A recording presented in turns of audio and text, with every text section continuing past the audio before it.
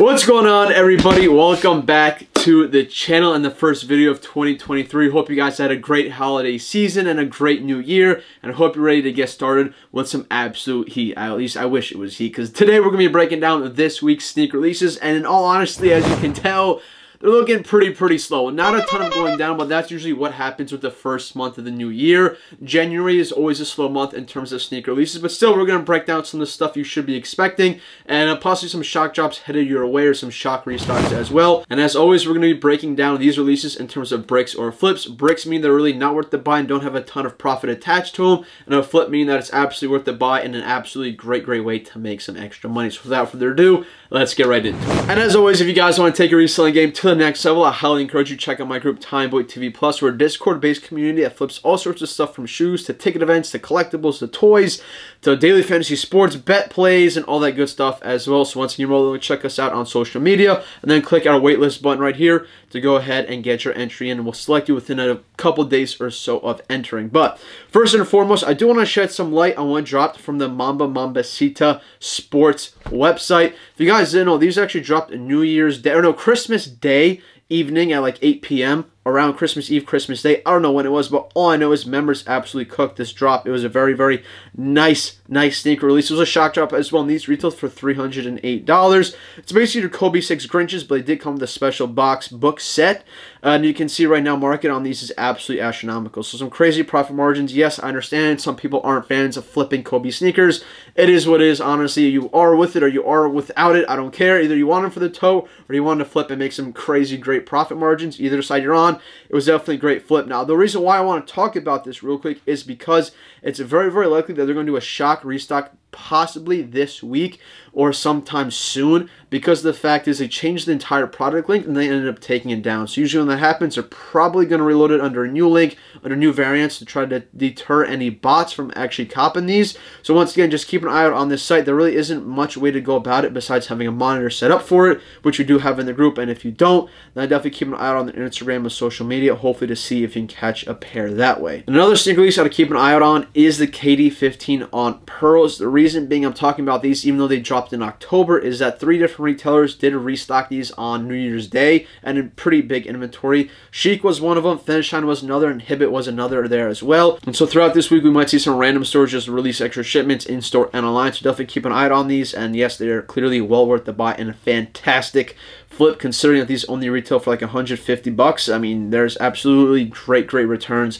on these. Now, in terms of the rest of this week, what's going down, we do have these. The Reverse Brazils currently not loaded up on Nike, but they're loaded up on StockX right over here. They're literally just called the Reverse Brazils. Very, very similar to the regular Brazil Dunk color. They did drop about two years ago in 2020 when the Dunk hype just really started going hard. Uh, these are definitely not going to be flipping anywhere near those. Uh, those are actually flipping, if I'm not mistaken, on the $300 price range. I could see these coming definitely down a little bit more than they are today. Probably around the 150 to $140 price range, but still a relatively decent flip. Once again, these like loud, bright dunks really don't go for crazy margins like they once used to. Uh, but once again, it's not really even a confirmed release. Just some random Shopify retailers and random boutiques might drop them this week. Original release date is going to be for this Tuesday, the 3rd. And then on to Supreme, which we usually have them drop on Thursday. It's a very, very mediocre drop uh, schedule. This one, once again, the Chrome Grom is canceled, so won't be dropping this season. Maybe delayed or completely canceled once again. And then the rest of these items are expected to drop this week. And the reason why I'm talking about Supreme, even though it's a terrible week, is that if you look at the shop, there is a drop schedule for this week, and they have a password page up, which is never done before until they close the season out. The reason being is that it looks like they're testing out a brand new Shopify website. Believe it or not, they switched. Supreme had such a good, somewhat decent site, and they ended up switching entirely to Shopify it's going to be very, very interesting to see how this goes down. But also their domain changed, so it's no longer supremenewyork.com. It's us.supreme.com.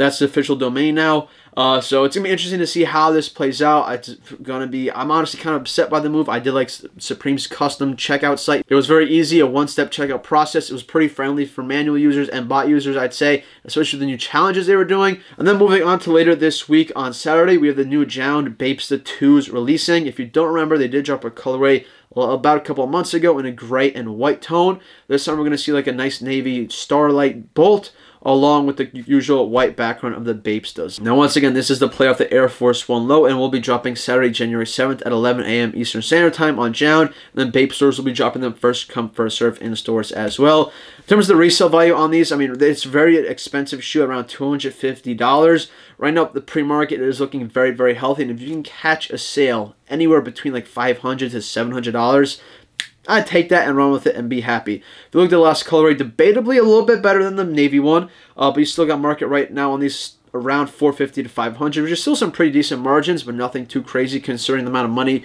you are paying for these. Keep in mind, if you're buying on Bape, they have very, very high shipping rates, probably around $30, and JJJJound also has a probably around like a $25 shipping rate plus tax. So keep that in mind going to the drop. Overall, I'd say it's a pretty decent flip, but be cautious about the shipping and tax you're going to have to pay for your state. And then on Saturday as well, we got the LeBron 7 Florida A&M Universities retailing at a price tag of 200 US dollars. Currently loaded up on SNKRS. Really don't really see LeBron's launch too much on SNKRS, more or less on the Nike app, but these will be launching there considering probably a higher tier release. And in terms of value on these, right now they're looking like a really, really good flip. Uh, but I don't expect it to hold for too long because this is pretty much just high asks. Bids really aren't up there. But I definitely see this probably coming down to like a 20 to $30 profit flip. And then probably once online orders come in, probably even more lower than that. And last but not least, we don't have a big men's Jordan Retro release this weekend, but we do have a big grade school Jordan 4 release of the French Blues, also known as like the bootleg unions. These are retailing at a price tag of $150. Really, really interesting colorway. Once again, basically looks like unions just for little kids. And I kind of do like the appeal to that. Literally, I think Nike kind of went into the design with that whole mindset. And if you take a look at the resale value on these, some of them are pretty much down bad. It's looking like a brick right now. However, after the release, I could see a little bit of hype coming back into the shoe. If I'm not mistaken, these did drop already earlier. You can see there are a good amount of pairs out there, and they're really not holding up too well. So for the most part, it's a brick. But maybe the day after the release, Saturday, once people catch those L's, they want it for their kids. Market might rebound a little bit, but not by much to where I really consider it being a great, great flip. So that about rounds out this week. Hope you guys enjoyed. Wish you guys the best luck. On Wednesday, we'll catch you guys with the main sneak releases for January 2023. I'll catch you guys then. Peace.